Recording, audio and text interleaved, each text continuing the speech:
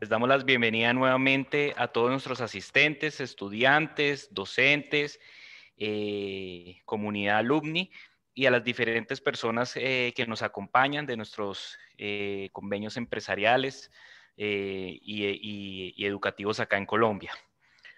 hoy continuamos con la segunda entrega de este ciclo de perspectivas 2021. Como podrán ver, ayer nos acompañó eh, el doctor Jaime Alberto Cabal, presidente de FENALCO, para analizar el sector eh, de los comerciantes. Y hoy eh, vamos a hablar del sector financiero. Y, qué mejor, pues, que para hablar de, este sector nos acompañe Manuel de la Cruz, presidente ejecutivo del Banco Santander acá en Colombia, también docente nuestro de nuestro MBA y de nuestro programa de alta dirección ejecutiva. Em, asimismo, pues nos acompaña eh, nuestro director académico, Juan Díaz del Río. Eh, entonces, eh, la dinámica será muy similar a la del día de ayer. tendremos aproximadamente unos 40, 45 minutos de conversatorio y al final dejaremos un espacio de preguntas que se las pueden realizar a Manuel eh, espero que puedan eh, aportar y, comentar todo lo que, todas las inquietudes que genere eh, este, este espacio y además pues de las que tengan, sobre todo pues de lo que se viene para este 2021. Em, entonces, pues sin más preámbulos, vamos a dar inicio. Manuel de la Cruz es MBA em, del, IE, Instituto de Empresa de Madrid y tiene un PD en Administración y Gestión de Empresas eh, de la misma Casa de Estudios, licenciado en Ciencias Empresariales de la Universidad de Sevilla. Em, como les decía, es docente de nuestro MBA y del programa de, alta dirección ejecutiva em, en el área de eficiencia directiva y actualmente se desempeña como presidente ejecutivo del Banco Santander. Creo que ya son aquí, me corregirá Manuel, eh, tres años, tres años, ya casi para cuatro acá cuatro, y medio. Ah, bueno, ya un poco Cuatro años y medio.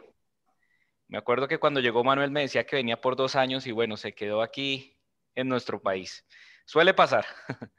Em, posee una, una, amplia experiencia en el sector financiero, donde ha ocupado varias posiciones como director, em, creador de, líder, de líderes, eh, pues, estratégica y generación de grupos de alto rendimiento. Entonces, eh, Manuel, muy buenos días. Muchas gracias por aceptar esta invitación de EUDE Business School. Em, y bueno, te dejo aquí los micrófonos. Muchas gracias. Eh, muchas gracias, Federico. muchas gracias a EUDE. Muchas gracias, Juan, Juan Díaz. Eh, bueno, pues un placer para mí compartir un poco la visión que tenemos sobre 2021 y lo que ha pasado en el 2020. Creo que va a ser interesante eh, el, diálogo con, Juan Díaz. No sé si, si puedo compartir ahí rápidamente un... Venga, comparte. se, ve perfectamente.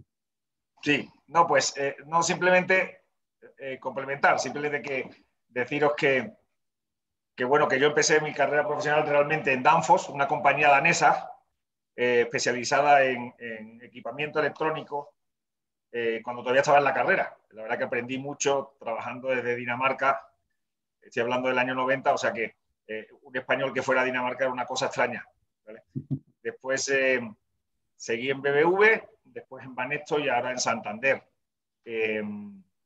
y siempre he sido una persona que considero que es tremendamente relevante la formación, formación continua. No puedes pensar que todo lo sabes cuando has conseguido un trabajo, sino que tienes que estar constantemente eh, actualizado. Lo último que he hecho ha sido con el Instituto ISDI, eh, en lo que se llama su programa ejecutivo de, transformación digital, porque creo que definitivamente en el mercado financiero todo lo que es la digitalización de la propuesta de valor es determinante en su, no, en su futuro, sino en su actualidad. Eh, eso quería comentaros en términos personales. Estupendo.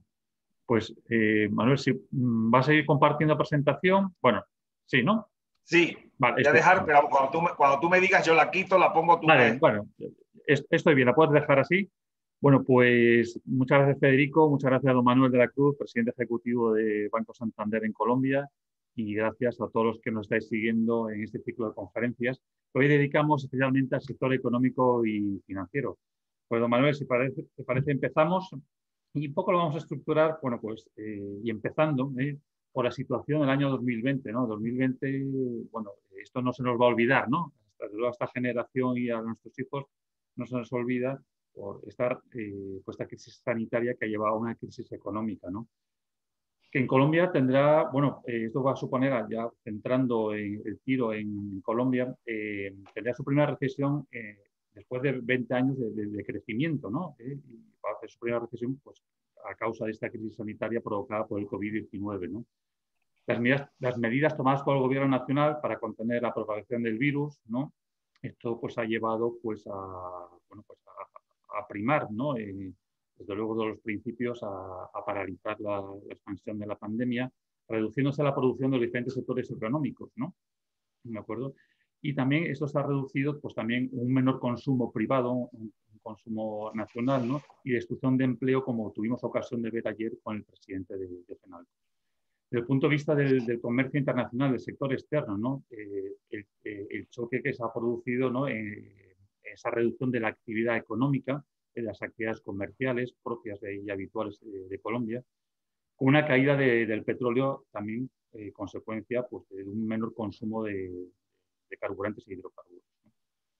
En cuanto a las cuentas fiscales, pues eh, todo el destino económico, el esfuerzo que, se ha tenido que hacer, ¿no? entiendo desde el punto de vista del gobierno, como en todos los países, ¿no?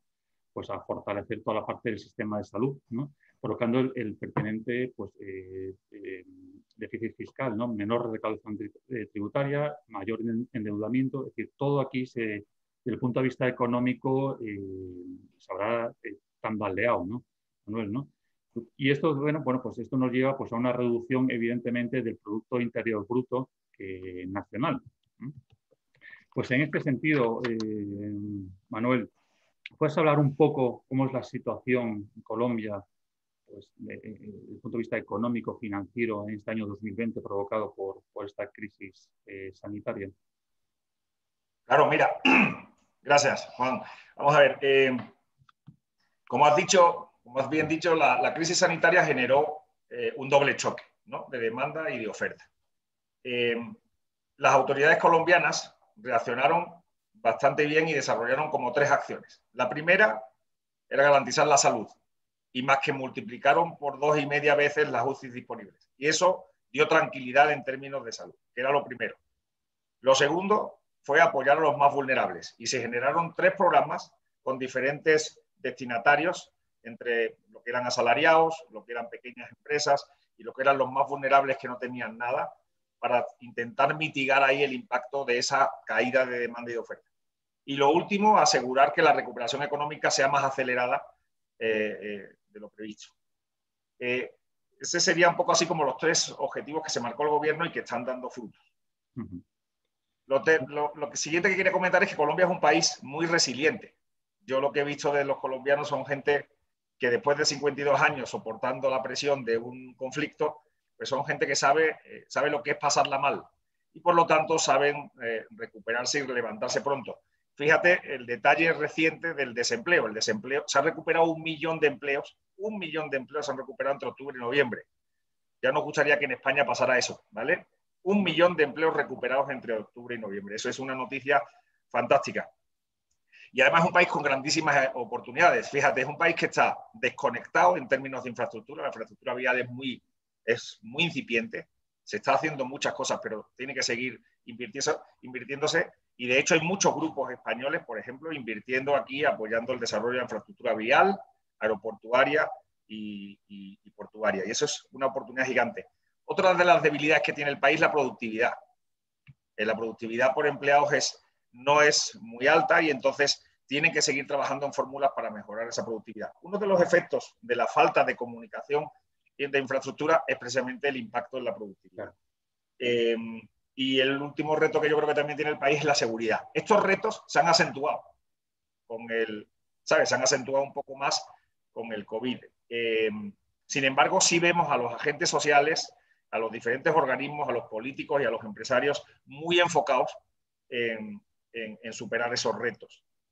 Eh, si me dejas, si me dejas que, vaya por la presentación, voy a compartir cómo vemos nosotros de forma así como muy didáctica lo que ha pasado.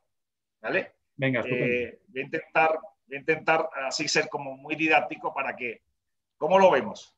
Fijaros, bueno, lo primero es el cliente, ¿no? Eh, ¿Qué ha pasado cuando llegó la, la, pandemia? Pues mira, teníamos un sistema que funcionaba así, muy sencillo, ¿vale? Hay unas transacciones comerciales entre las personas con un flujo de dinero, que lo tenéis aquí. Tienes unos suministros por parte de, em, las empresas. Eh, llegan bienes y servicios, llega empleo y se les paga por esos servicios. Y después el sistema financiero que está aquí abajo que intercambia créditos y pagos tanto con los particulares como con, las empresas. Muy sencillo. ¿vale? ¿Qué pasó? Cuando llega la crisis, se rompe las transacciones comerciales y se rompe la supply chain, ¿ok? Que se llaman choques de demanda y choques de oferta. Eso es lo que pasó directamente a partir del 24 de marzo. Me acuerdo cuando nos encerramos, fue el 24 de marzo, por ejemplo, todo el mundo de vehículos se rompió completamente, ¿vale? La compra-venta de vehículos como un ejemplo así como muy expresivo. Eh, eh, ¿Eso qué generó? Generó reducción de ingresos, baja de la confianza del consumo y se generó desempleo, ¿de acuerdo?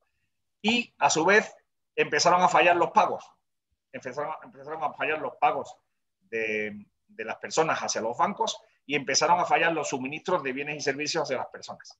A su vez, las personas al no recibir bienes y servicios dejaron también de hacerles ingresos a las empresas. Y ellas, las empresas, de repente se encontraron con que, oye, no le llegaba liquidez, había una presión en costos, se deterioraron financieramente y se decidieron postergar inversiones de forma que todo se paralizó. ¿De acuerdo? Los pagos de las empresas también fallaron, el empleo empezó a fallar también porque se destruyeron muchos puestos de trabajo, lo veremos, y se paró totalmente el crédito a las personas. Todo eso pasó, pues yo creo que entre el 15 de marzo y el 30 de marzo. Eh, bien, inmediatamente las autoridades del país, sobre todo los que están vinculados con el sector financiero, ¿qué hicieron? Oye, sacó la superintendencia financiera, que lo ha hecho estupendamente bien, sacó la normativa de alivios. Ahora diremos lo que es. Esos alivios lo que hicieron en principio fue reactivar los créditos tanto a empresas como a personas. ¿De acuerdo? Y se reactivaron los pagos se, volvieron a, activar los pagos. ¿Por qué? Porque al fluir crédito también fluyeron los pagos desde las empresas de las personas. A su vez, para garantizar que el flujo que tenemos aquí de dinero se mantuviera, lo que, se, lo que hizo el Banco de la República es meter liquidez, reduciendo tasas y meter liquidez en el sistema, para que los bancos no tuvieran problemas de, de insuflar. Y a su vez, los diferentes entes públicos financieros empezaron a fondear con tasas especiales a los bancos para que estos aún más activaran el, crédito y además se consiguieron garantías del Estado vía el Fondo Nacional de Garantías para que pudiéramos acompañar a las empresas que estaban muy tocadas. Todo eso lo que generó fue que, oye, volvieron los créditos a las empresas, volvieron los créditos con todavía con mucha más fuerza a los particulares y se normalizó y se empezó a normalizar el empleo. Este flujo eh, es realmente eh, ejemplar a mí me lo parece. Y esto es lo que hemos estado viendo durante los últimos meses y curiosamente demuestra que la acción del gobierno decidida, pues oye, pues tuvo un efecto positivo en la economía.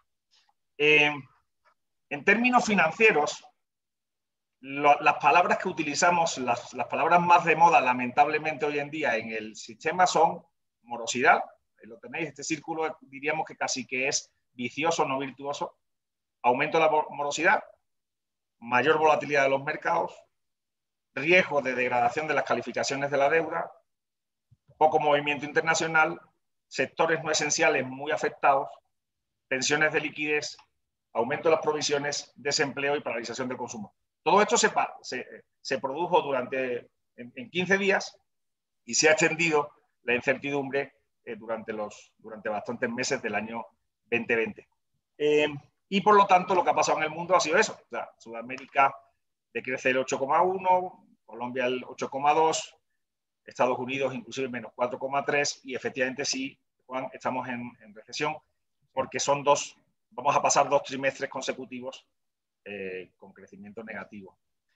Y déjame que te comparta a nivel empresarial. Esto es trabajo nuestro, esto es análisis de los sectores eh, con los diferentes actores de las empresas. Fíjate un poco. Eso te iba a preguntar, ¿no? de, qué sectores un poco se habían visto más afectados, ¿no? Porque no, no todo afecta sí, bueno, igual, ¿no? Los que, los que todos conocemos, pues pues mírate ahí, por ejemplo, eh, porque esto es, esto es bastante dinámico. Fíjate que esto es, un graf, este es un análisis que hacemos nosotros sectorial en el que semaforizamos a los, a los sectores y lo que le preguntamos es, oye, ¿cómo vas a estar de caja? ¿Cómo ves las ventas durante la cuarentena? ¿Cómo las ves a fin de año? ¿Y cuántos meses vas a tardar en volver a la normalidad? ¿no?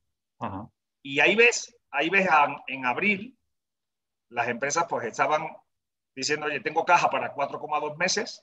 Sí ¿Y por qué se produjo esto? Porque muchas de las empresas de estos sectores se llenaron de liquidez. Ahora, si queréis, te cuento un poco qué han hecho las empresas para que entendamos cómo reaccionaron, que lo hicieron bastante bien. Por lo menos las empresas nuestras, que en este caso son empresas grandes, lo hicieron bastante bien. Fíjate, decían, en abril decían, tengo caja para 4,2 meses, que no está mal. De hecho, es excesivo, ¿de acuerdo? Porque si quieres ser eficiente, la caja tampoco tiene que ser tan grande. Las ventas en cuarentena se fueron al 51%. Fíjate, por ejemplo, comercio y reparación de vehículos en abril se fue al 9%. O sea, perdieron un 91%. O alojamientos y servicios de comida perdió el 90%. O las actividades inmobiliarias se fueron al cero. Claro. Al cero. Y entretenimiento y recreación al 10%. Hmm. ¿De acuerdo? Las ventas a fin de año, mira cómo del 51%, la media pasó ya en abril, ya pensaban que en el 79%. Y los meses en volver a la normalidad se situaban en 5,6 meses. O sea, de abril ellos pensaban aproximadamente que en septiembre, octubre iban a estar normalizados. Bueno, pues muchos de los sectores, si, si los, si los sigues por aquí, pues ya están recuperando, eh, su actividad. Pero hay varios sectores, como es el de la explotación, minería o y entretenimiento, por supuesto, recreación, muy perjudicados también. Exacto, exacto. Fíjate que, a ver, que no me líe yo manejando esto, pero sí, efectivamente, hay muchos sectores eh, muy afectados. Por eso nosotros consideramos que si lo ves en, términos agregados, la recuperación va a ser en forma de, raíz cuadrada, ¿vale? Eh, va a ser en forma de raíz cuadrada. Eh, lo que pasa es que no va a ser en todos los sectores igual. No va a ser en todos. Yo creo que va a haber, yo creo que va a haber sectores... Mira, las empresas hicieron tres cosas. Las empresas hicieron tres cosas cuando llegó el día 15 de marzo. Que son, la primera es llenarse de liquidez. Eso fue lo primero. Por eso la caja en abril aparece más grande que en noviembre. Pero es porque se llenaron de liquidez innecesaria. Ahora lo vamos a ver en los gráficos. Eso es lo primero. Lo segundo que hicieron cuando más o menos estaban entre mayo y junio fue limpiar costes. Se dieron cuenta de que muchos de sus costes, oye, pues eh, tenían una capacidad instalada que, bueno, que no era necesaria y empezaron a quitar lo que se llama nata. Se pusieron más en forma las empresas. Se pusieron más en forma. Exacto. Y la tercera cosa que está pasando ahora que es la, que yo creo que es más compleja, es eh, que se han dado cuenta que su propuesta de valor tiene que evolucionar. Muchos clientes ya no le compran como le compraban antes. Eso lo que, lo que puede determinar que es una cosa buena, porque te hacen más eficiente y te, te centras más en el cliente, tiene un impacto, es en el empleo. Porque hay muchos de los empleados de empresas que van a necesitar un upskill, hacia lo que la empresa necesita para su nueva propuesta de valor. Y no todos los empleados de determinados sectores van a estar listos. Eso puede generar un desempleo estructural bastante pernicioso, eh, que esperemos que, pues, que las empresas seamos capaces de Dar, dar nuevos aumentos de capacidad de nuestra gente para poder eh, ayudarles a reincorporarse y aprovechar la nueva economía que estamos viendo ahora que, claramente es mucho más centrada en el cliente, uno, y basada en una, en una propuesta de valor muy digital. ¿no? Y da igual el sector donde te encuentres. ¿Vale? Aspectos positivos también se destacan de estas situaciones también, ¿no? Sin duda, sin duda. Nosotros, eh, o sea, nosotros, a nosotros como banco, eh, vamos al Banco Santander no le ha ido mal, pero básicamente pues somos un banco de nicho, muy especializado en corporate, y eso nos ha permitido pues eh, con una política de riesgo muy prudente, eh, poder acompañar a esas compañías y que esas compañías a su vez dieran fortaleza, a su, sobre todo a su supply chain, porque una de las cosas más, eh, diríamos, más retadora es romper la supply chain. ¿Por qué? Porque cuando las empresas reciben alivio de las entidades financieras no pueden acceder a más crédito. Y si no puedes acceder a más crédito cuando tu comprador te pide suministro y tú no tienes acceso a crédito, puede ser que no le puedas suministrar. Y eso rompe la cadena productiva.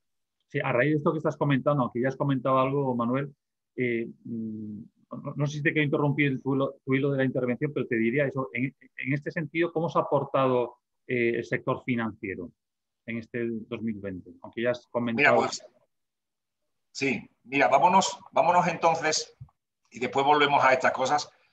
Eh, vámonos al, al, no, seguimos tu, secuencia. No te preocupes. Si me parece, me parece, podemos movernos para adelante, para atrás, ningún problema. La, sistema financiero. La buena noticia fue que, a diferencia de la crisis del 2008, los sistemas financieros mundiales, porque por los aprendizajes derivados de la crisis del 2008, que fue una crisis realmente financiera, derivada de que había papeles que no tenían detrás el valor eh, que, representaban en el mercado, y cuando de repente eh, alguien se dio cuenta de que ese papel no valía, encima estaba apalancado, eso tiró para, se, cargó los sistemas financieros. Por lo cual se establecieron una serie de normativas para evitar ese tipo de manejos. Eh, y además se fortalecieron, se exigieron fortalecimientos de capital a todas las entidades financieras a nivel mundial. Y entonces eso ya se, nota en Colombia. En Colombia, si veis, la, barrita más clarita demuestra que los niveles de capital de los establecimientos financieros son mucho más grandes que en 2006. Lo veis aquí porque es, bastante sencillo de, de entender. Y si lo veis por la, barra de, la izquierda, pues aquí veis cómo el 57,4% de, de los establecimientos financieros antes del COVID tenían más de un 13% de nivel de solvencia, que es excelente, porque date cuenta que el nivel mínimo aquí es 9. O sea, estamos hablando de, 4, de 400 puntos básicos más que lo exigido. Entonces, primero, el punto de partida era mejor. Siguiente, que quería compartiros es, oye, los niveles de, IRL, que es el nivel de liquidez que deben tener las entidades financieras, que es un, es un ratio que mide cuánto dinero tengo yo de los depósitos eh, y a qué plazo están esos depósitos versus cuánto tengo yo invertido y a qué plazo está esa inversión en, en los créditos, pues si te das cuenta, la línea que está en 100 es el límite. Y la media del sistema financiero en toda la crisis se ha mantenido más, muy por encima del 200. Con lo cual, desde el punto de vista de liquidez y gracias a la intervención de las autoridades, el sistema financiero se mantuvo muy bien. Y en, en términos de solvencia, aquí lo veis, que no sé si, si se ve el 15,5%, lo tenéis aquí, por, eh, cuando el límite, como he dicho antes, es el 9. Luego, en general, tanto por solvencia, es decir, por capital, como por liquidez, el sistema financiero está en condiciones de dar estabilidad a la recuperación económica y ha sido resiliente en ese momento. Fíjate, y me gustaría profundizar un poco más, ya que vamos a hablar del sector financiero. Ese era el punto de partida y el comportamiento. Ahora vamos a ver qué ha hecho. El regulador nuestro, la Superintendencia Financiera de Colombia, liderada por el doctor Jorge Castaño, tuvo una reacción inmediata. Es que ya en marzo definieron dos normativas la circular 007 y la 014, que establecieron periodos de, gracia y prórrogas para todos aquellos que estaban al día, perdón, que tenían sus créditos con una mora máxima de 30 días al 29 de febrero. Eso, fíjate lo que, lo que impactó. 6,8 millones de deudores por 141 billones recibieron alivios. ¿De acuerdo? Cuando llegó mayo, eran 10 millones de deudores y 198,2 billones de pesos a los que se le dio alivio. De una cartera de 500 billones, 200 billones fueron aliviados, es decir, se le dieron prórrogas, no se cobraron intereses y no se cobró capital, totalmente aliviados. Con la idea de decir, oye, vamos a intentar mitigar el impacto sobre la economía real y vamos a intentar ayudar. Date cuenta que eso tiene un efecto. ¿eh? Cuando tú tienes obligaciones con tus depositantes de pagarles intereses, pero no recibes intereses de tus créditos, se produce un desajuste de caja en las entidades financieras. Y por eso la liquidez del Banco de la República fue tan importante en ese equilibrio. ¿De acuerdo? Lo que estamos viviendo hoy es que se está terminando, se, se han terminado los alivios y como se dio cuenta el regulador de que después de los alivios se necesitaba algo más, se lanzó la circular 022, que es lo que se llama el programa de adecuación al deudor, en la que cada banco se sentó con los deudores para identificar cómo adecuábamos su deuda a la realidad que estábamos viviendo extendida. Y eso es lo que hoy en día se está terminando durante estos bueno, Si me permites, de todas formas, no sé si ha habido ciertas críticas, eh, bueno, que ese, eh, esos préstamos eh, o esa ayuda ha sido más enfocado a, a grandes empresas y ha llegado menos, por la información que tengo, ha llegado menos a las pequeñas empresas, a pymes, muchas de ellas son empresas familiares, ¿no? Eh, porque, claro, también, evidentemente hay, que asegurar el riesgo ¿no? de, esas concesiones ¿no? de, dinero, de esos préstamos. mira, la, nosotros no tenemos pymes, ¿ok? Nosotros no trabajamos con pymes, pero porque básicamente porque no tenemos infraestructura para atenderlas. Si las tuviéramos, lo haríamos, ¿no? Ahora te cuento después cómo es la estrategia del banco aquí. Pero sí te puedo decir que sí tenemos particulares. Nosotros sí prestamos para que las, para que las personas se compren vehículos, ¿ok? Nosotros, todas las personas que vinieron al banco a solicitar el alivio se le dieron. Todas. La única condición es que a 29 de febrero ellos tuvieran un máximo de mora de 30 días. Pero si tú cumplías con esa condición, todo el que solicitó se le dio el alivio. De hecho, le dimos el alivio al 51% de la cartera, que son los que lo pidieron. Y así ha reaccionado todo el, todo el, todo el, eh, sistema financiero. Eh, cuando se va terminando la crisis, cuando te das cuenta que un millón de personas vuelven al empleo, cuando te das cuenta que las empresas empiezan a funcionar de nuevo, es cuando tienes que volver al análisis tradicional de crédito. Y ahí puede darse el caso de que algunas empresas, pues, eh, oye, pues no son viables. Y cuando no son viables, nosotros tenemos que provisionar el crédito completamente sin llevarlo a pérdidas. Y eso puede afectar a la solvencia y la estabilidad de la entidad financiera. Por eso puede haber algunos empresarios que pequeños sobre todo, que, lo que tenían que haber hecho o lo que deberían haber hecho con sus entidades era haberse asomado al Fondo Nacional de Garantías y apoyarse en el Fondo Nacional de Garantías para poder conseguir esos créditos. Porque el Fondo Nacional de Garantías, que te cubría entre el 50 y el 80% de la posición del banco, te permitía acceder a esas facilidades. Tiene un coste. ¿Y práctica habitual en las entidades o propia más específica de Santander? No, no, o sea, nosotros, es que nosotros hemos, por nuestra estrategia, no hemos tenido dificultades con nuestros clientes. De hecho, nuestra morosidad es muy baja, es la más baja del sistema. Eh, pero, pero sí hemos sido muy conscientes de lo que estaba viviendo la pyme y como muchas de esas pymes son proveedoras de nuestros grandes clientes, hemos fomentado mucho el confirming, que es un sistema por el, por el cual el gran pagador le facilita el anticipo de las facturas a sus proveedores, sin necesidad de consumir riesgo al cliente proveedor. Y eso ha dado un resultado excelente, porque ayuda desde el gran, desde el gran pagador, por ejemplo, no sé, una gran compañía que compre a determinados proveedores, en la gran, eh, con el confirming le apoyas eh, financieramente sin consumir cupo del, del, pequeño proveedor. Eso lo hemos fomentado mucho durante toda la crisis. Estupendo. ¿Vale? Mira, una vez que hemos visto lo que, lo que ha hecho el regulador, nos podemos ir a lo que hizo el Banco de la República. El Banco de la República hizo tres cosas. Primero, bajó las tasas de interés. ¿Cómo lo pudo hacer? Lo pudo hacer porque como la inflación se cayó, pues porque no había demanda ni oferta, pues al caerse la inflación, el, Banco de la República acompañó esa bajada con sucesivas reducciones de, las tasas de interés. Uno. Segundo, inundó de liquidez del sistema con diferentes fórmulas.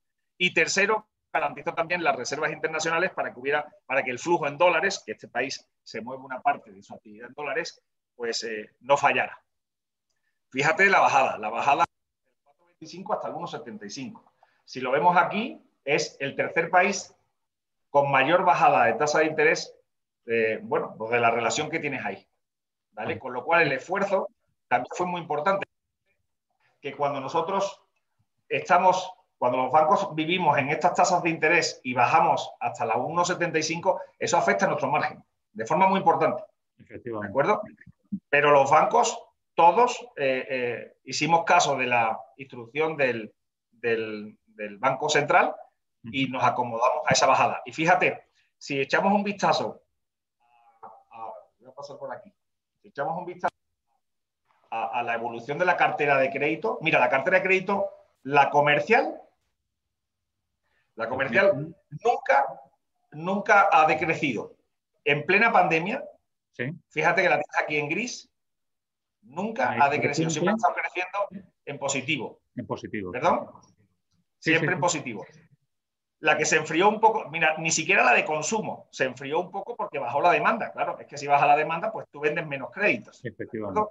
Eh, va, totalmente alineado. La de vivienda es una alegría para todos porque el mes de noviembre ha sido mes récord histórico en venta de viviendas en el país. Y eso se refleja también en el crecimiento de los créditos de vivienda. Sobre todo se van a notar no ahora, sino dentro de unos meses cuando se empiecen a firmar los préstamos eh, para, para, ¿sabes? Para lo que es eh, las personas físicas. Y fíjate otra cosa que quería también eh, resaltar es, fíjate el salto comercial que comentábamos antes. Esto, este pico de aquí fue la demanda gigante por parte de empresas buscando liquidez. Como nos, se, se enfrentaban a un momento de altísima incertidumbre, muchas de ellas vinieron a los bancos a pedir liquidez. La buena noticia es que esa liquidez ya se ha devuelto. No ha, sido una caída de la cartera, simplemente que de aquí a aquí lo que había era un crecimiento, pues, de, por incertidumbre, prefiero ser ineficiente en caja, pero prefiero tener la caja por si acaso esta crisis se extiende en el tiempo. ¿vale? Em, y fijaros el impacto, digo por, por, terminar ya con el impacto en el sistema financiero, fíjate cómo em, eh, el, el, PAD ha llegado al el 91% de las operaciones activas de crédito redefinidas por PAD corresponden a consumo. O sea, las personas físicas, al, el 91%, o sea, 10,9 billones de pesos, ¿vale? Y 1.128.000 personas que tenían un consumo se han acogido a un plan de ajuste del deudor. ¿De acuerdo? O sea, el, el sistema financiero, a mi entender, ha hecho enormes esfuerzos por ayudar a la recuperación, ¿de acuerdo? Por entender que la situación era muy especial y que había que estar al lado del cliente acompañándolo. Y si miras el, impacto promedio de estas medidas, fíjate, la cuota media ha caído un 20,8%. O sea, las personas la cuota media te pagan un 20,8% menos de la cuota que pagaban. Vale. La cuota media es la cuota mensual. Si tú pagabas 100, Ahora estás pagando 80, 80 con 2, ¿vale? Eso es.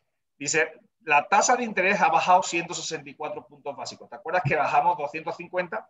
Ya se ha transmitido al sistema 164 puntos básicos de los 250% que ha bajado la tasa oficial. El plazo medio de ampliación de las operaciones se ha ido a 24 meses. Es decir, la gente tiene 24 meses más para pagar sus obligaciones y el periodo de gracia que es el periodo sin intereses, eh, en los que tú no tienes que pagar cuotas, cuatro meses.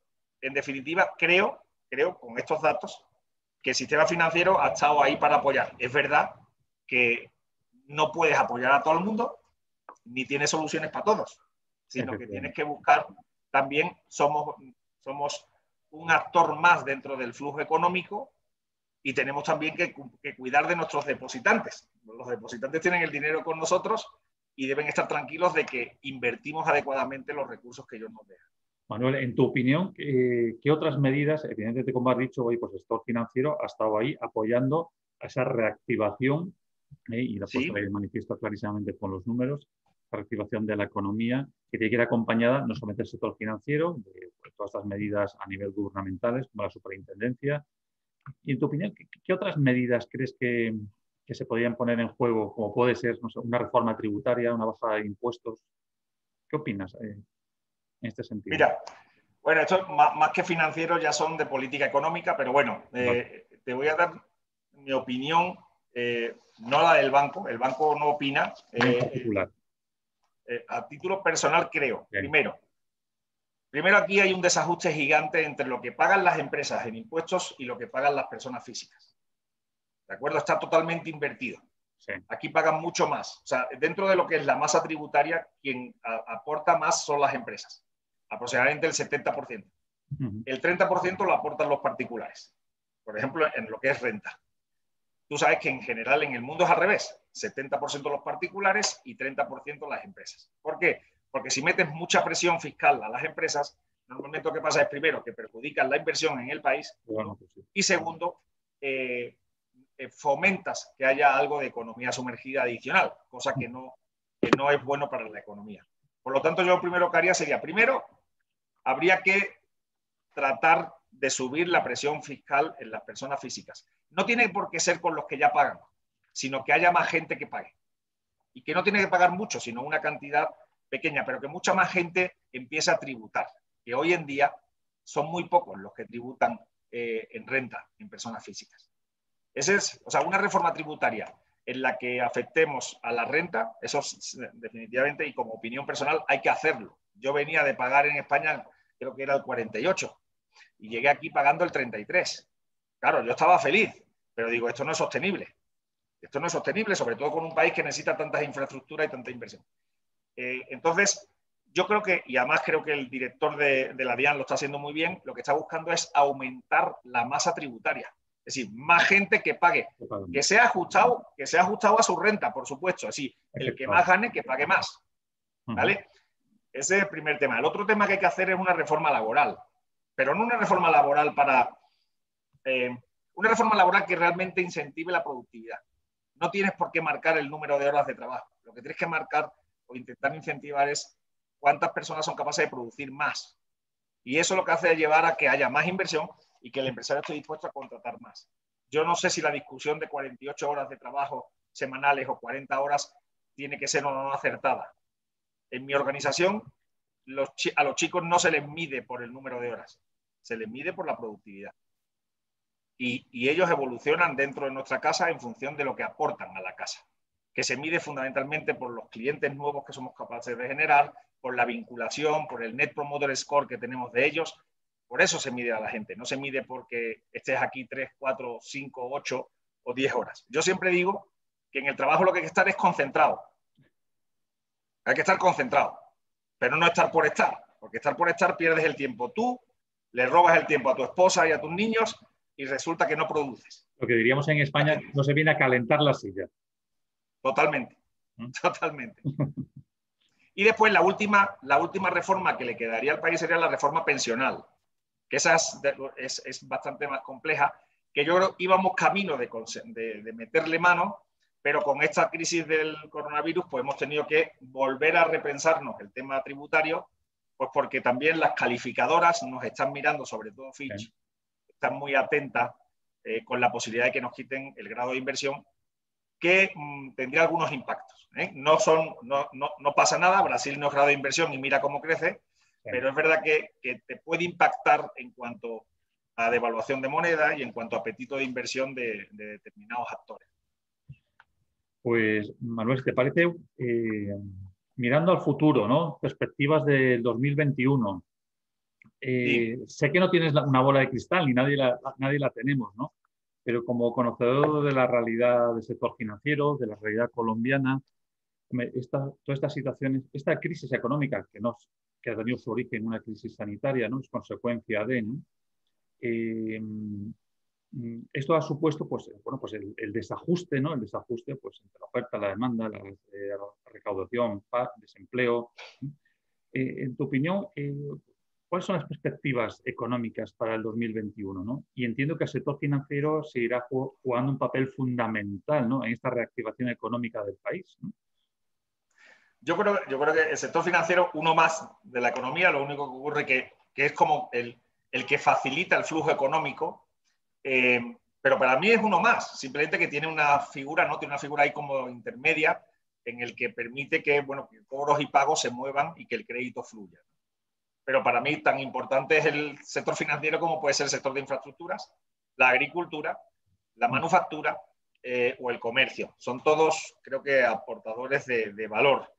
Déjame que primero, o sea, mira, te voy a enseñar alguna buena noticia. Yo voy para atrás y para adelante en la presentación, no pasa nada.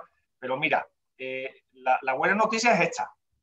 La buena noticia es que de 21,4% de desempleo, en mes de mayo, pues, en este país de mayo al 21,4, oye, al 14,7, casi 10 puntos. Impresionante. Impresionante la reacción del país. Me parece una magnífica noticia. Otra magnífica noticia es esta. Mira cuántos puestos entraron en la media móvil de agosto a octubre en el comercio. 224.000 puestos de trabajo, 184.000 en manufactureras, 183.000 en agricultura y ganadería, 151.000 en artísticas y entretenimiento. Oye, son unos datos excelentes. Incluso en alojamiento y restaurante tenemos algunos clientes nuestros cuyos hoteles ya están llenos. Eh, un sector muy perjudicado también, un sector Todo muy perjudicado, pero ya están empezando a llenarse. Efectivamente, dentro del sector, por ejemplo, yo creo que el, sector de alojamiento de ciudad vinculado a lo que es los viajes de negocios, pues va a tardar más. Va a tardar más.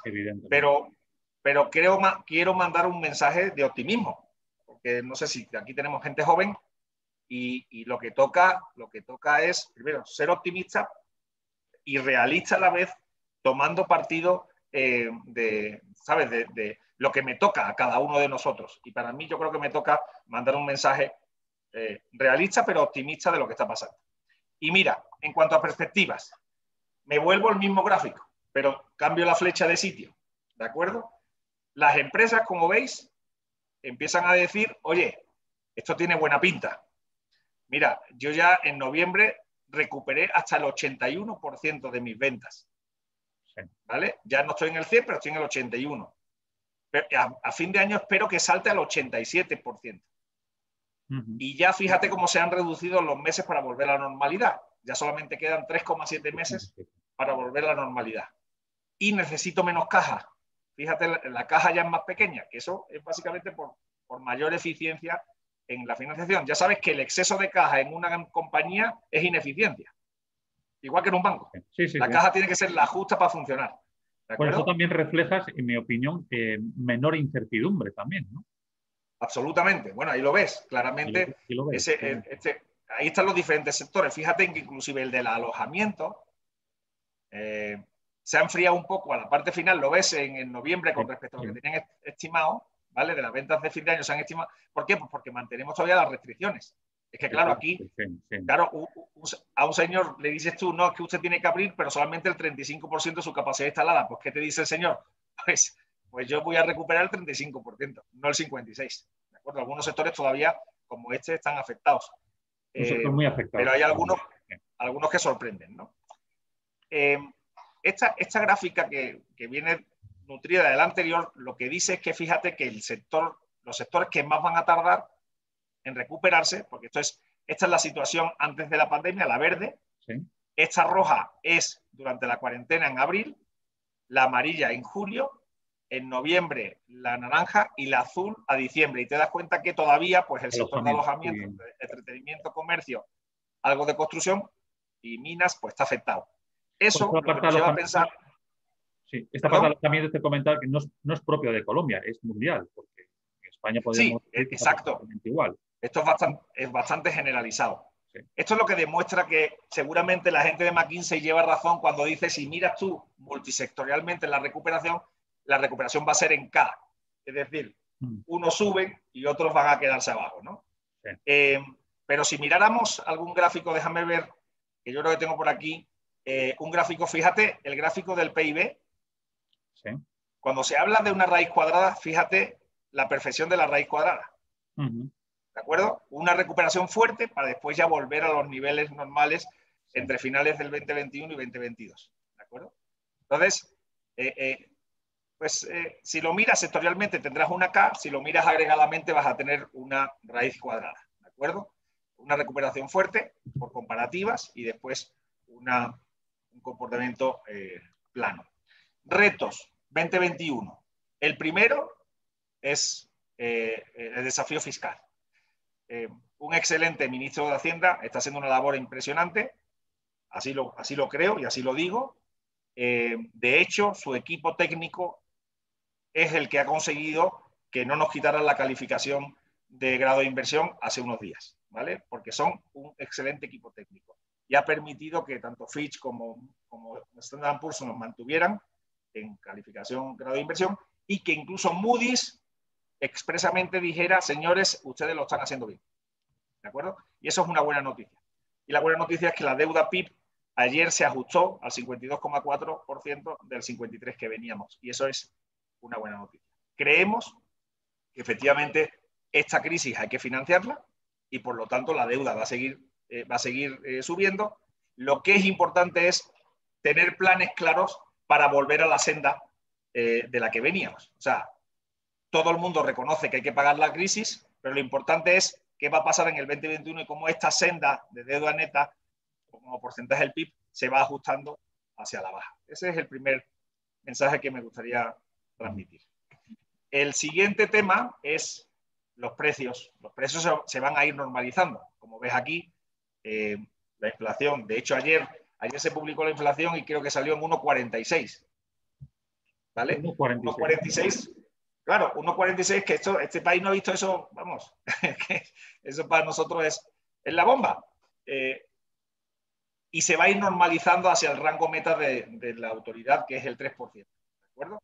Y las tasas de interés se van a ir, eh, ¿lo ves? Se van a, se van a ir normalizando. Por eso una de las recomendaciones que nosotros hacemos a nuestros clientes es, como estamos en el suelo de tasa de interés, lo que te recomendamos es que aproveches esa situación para mitigar el riesgo de tasa, el riesgo de tipo de interés, haciendo coberturas de tipo de interés a medio y largo plazo. Eso lo estamos recomendando activamente porque creo que es el momento adecuado. Entonces, y muchos de esos grandes clientes ya están tomando decisiones de mitigar el riesgo, no de especular, de mitigar el riesgo, que es para lo que sirven los IRS, ¿vale? Por ejemplo, que son figuras que se usan para, para reducir el riesgo de volatilidad de la tasa de interés.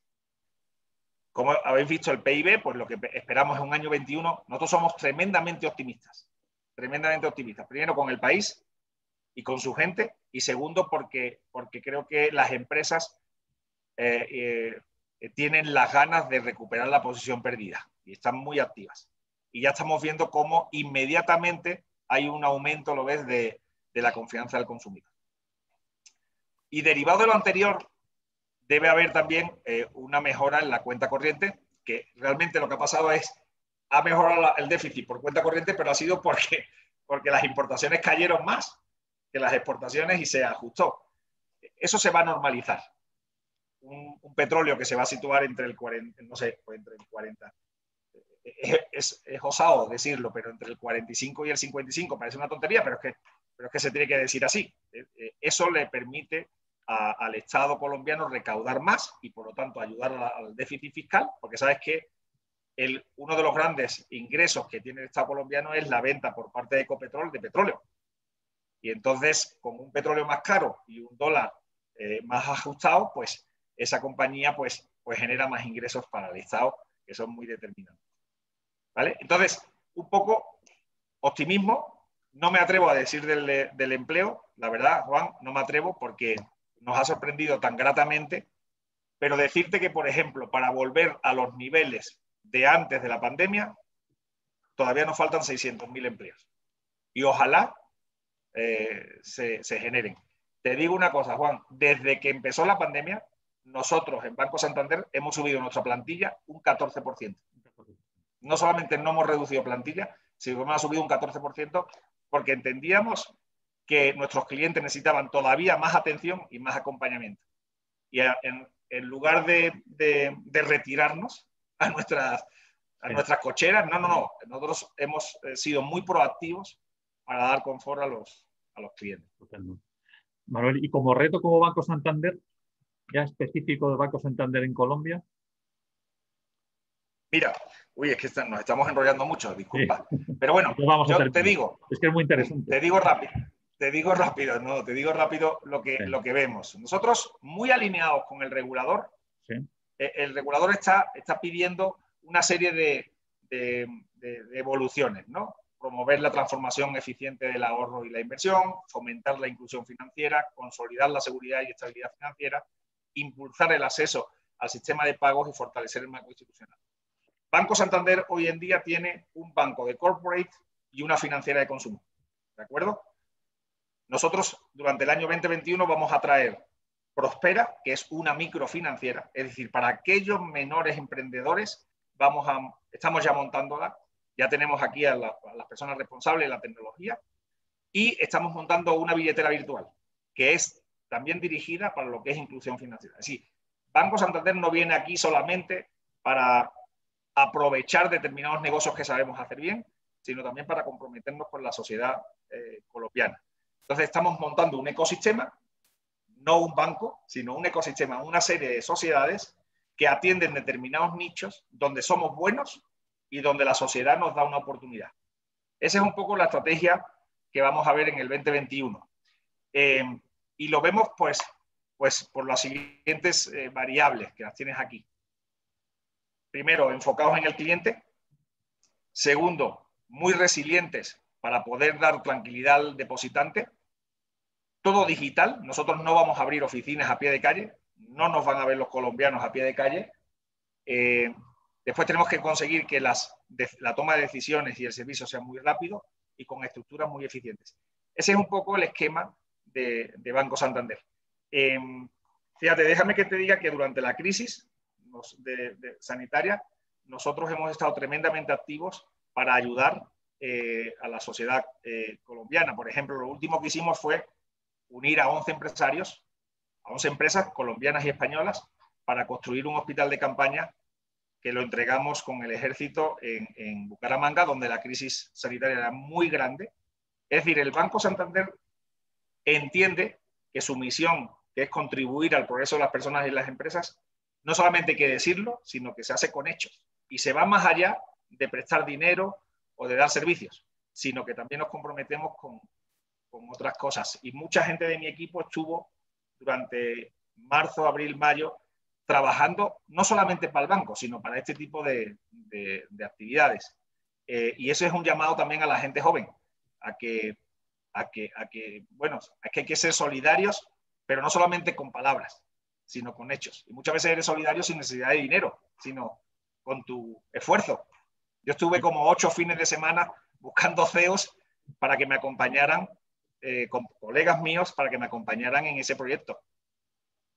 11 fines de semana, todos los sábados y los domingos, buscando gente para que me ayudara en el tema del, hospital, por ejemplo. Muy bien, eh, Manuel, pues si te parece pasamos a las preguntas.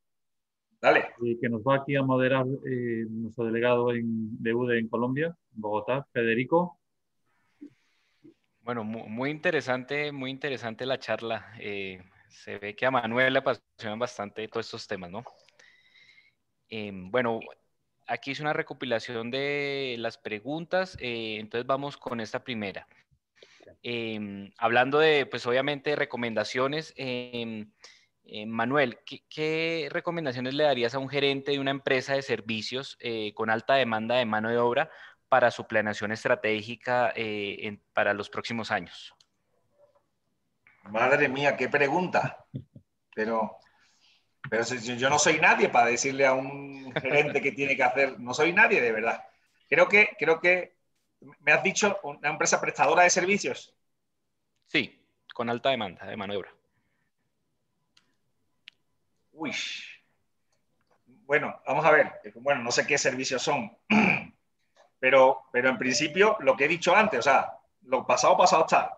Si estuvo con liquidez y ha aguantado el tirón, perfecto. Lo siguiente que tiene que ver es el tema de costos, que si lo ha revisado ya, perfecto, perfecto con el tema de, costos en el sentido de ajustar su estructura.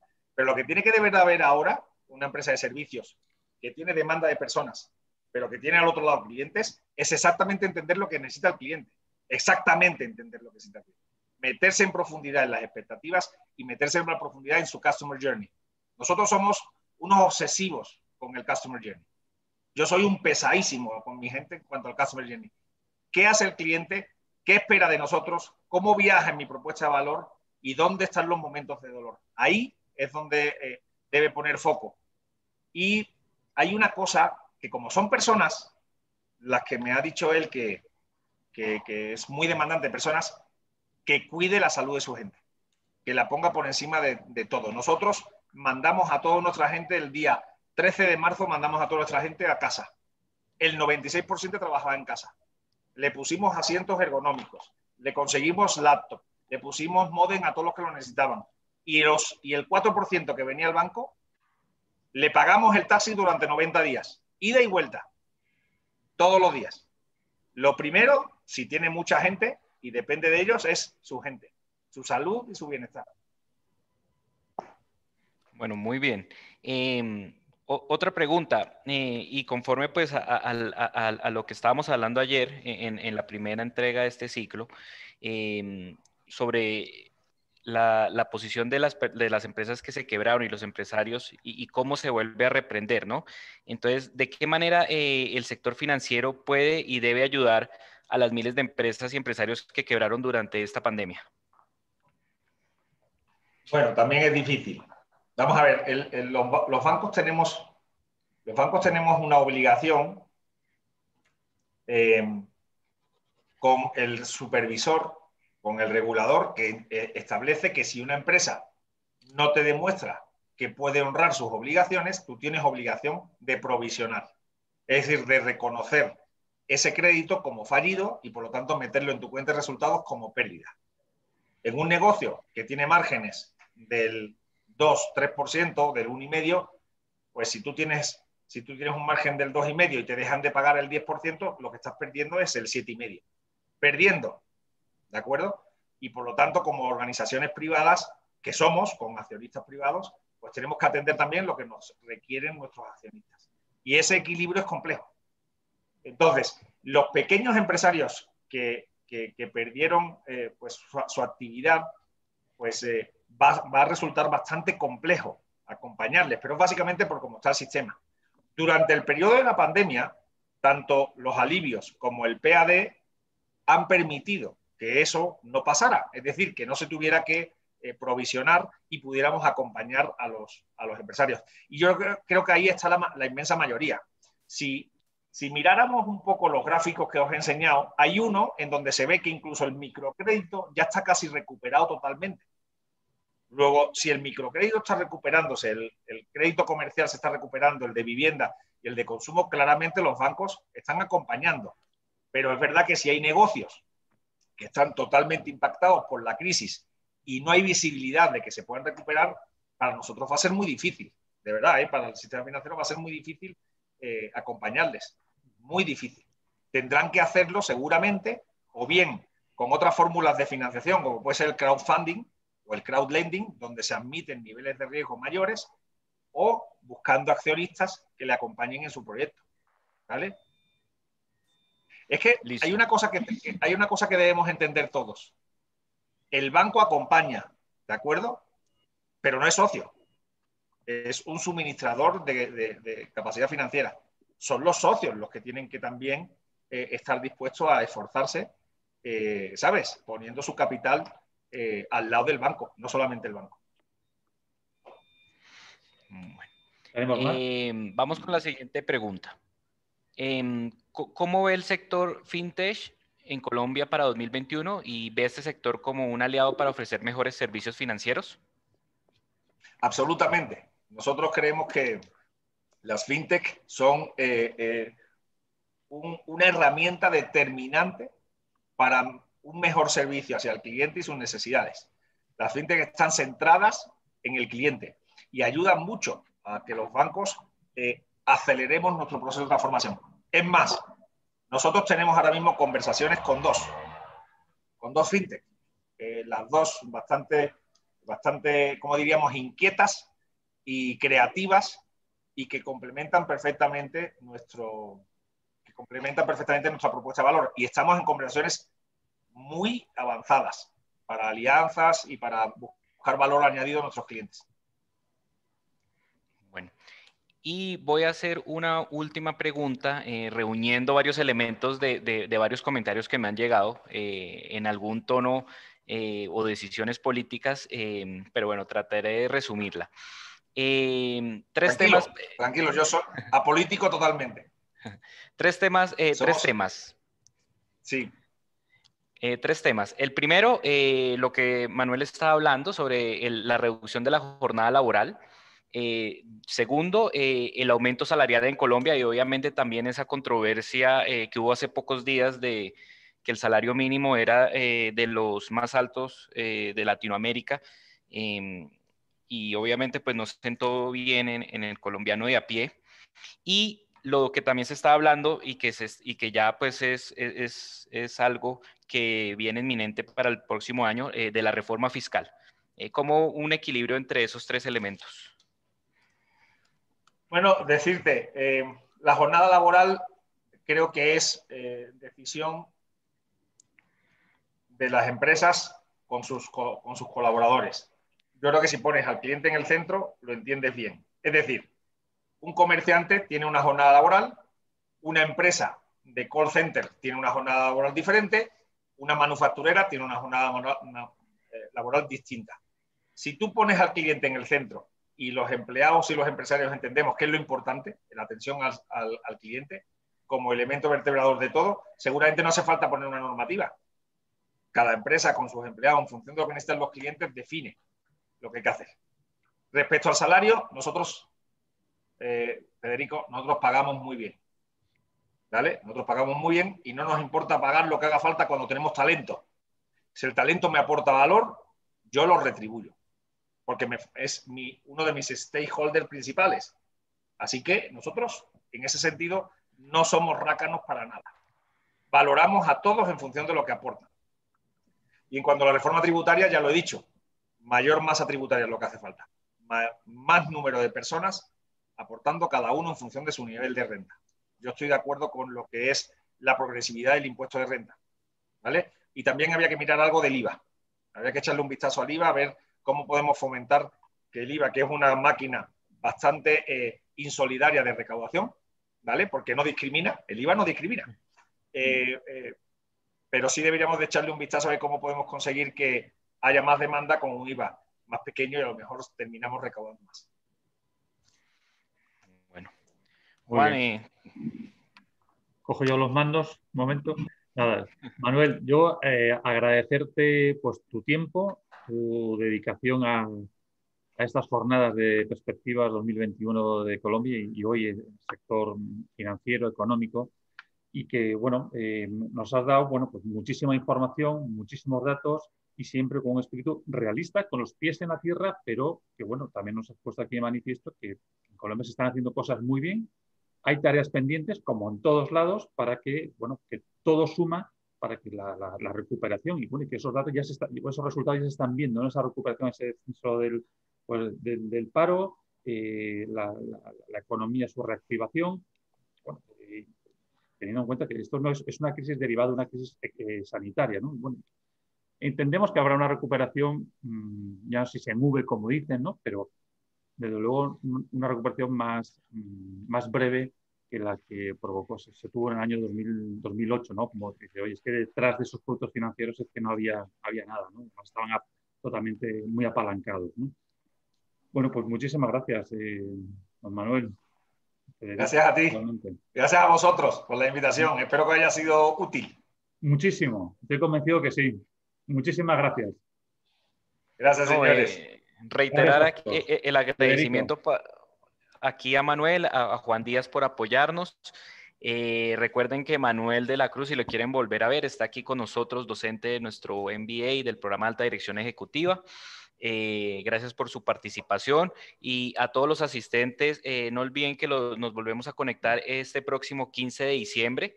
Estaremos también con un docente nuestro, Julián Jaramillo, expresidente de Alpina, eh, y actualmente CEO de Cafeterra, hablando sobre las megatendencias y el COVID. Un tema también súper interesante, así que espero que nos acompañen. Eh, gracias a todos los asistentes y de nuevo a Manuel de la Cruz, muchas gracias, infinitas gracias por estar aquí con este espacio con EU de Business School. Gracias Federico, gracias Juan. Un abrazo. Gracias a ti. Gracias a todos. Gracias. Adiós.